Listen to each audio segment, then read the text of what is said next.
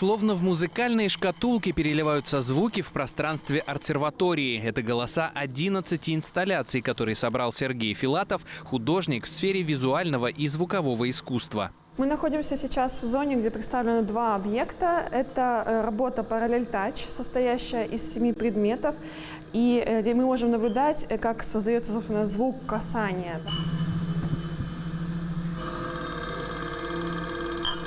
А в центре находится работа э, «Орфей. Песнь китам». И вот этот гулкий звук, который вы слышите фоном, который плавно распространяется на все пространство, это создается именно Орфеем. Поэтому, собственно, и выставка тоже называется э, «Соноконтур. Траектория резонансов».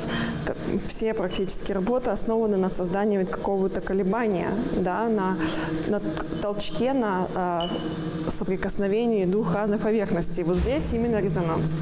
Экспонаты оснащены датчиками движения. Они начинают звучать, когда к ним подходит зритель.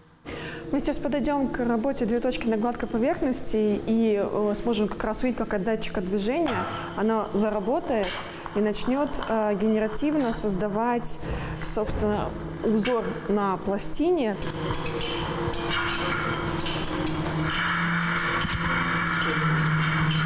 Еще одна работа, которая сейчас находится в тишине, и опять же, как только мы приближаемся, она начинает работать. Это квинтет.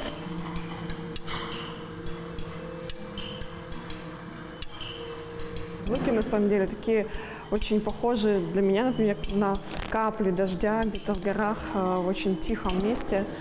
В общем, очень много медитаций и э, ассоциаций.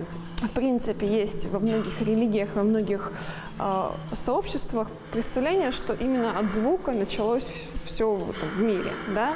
И поэтому вот этот поиск нового, э, новой формы создания звука, это и есть то, чем автор занимается. Все экспонаты автор собрал своими руками. Услышать звуковые скульптуры и увидеть в них свой смысл можно до конца февраля.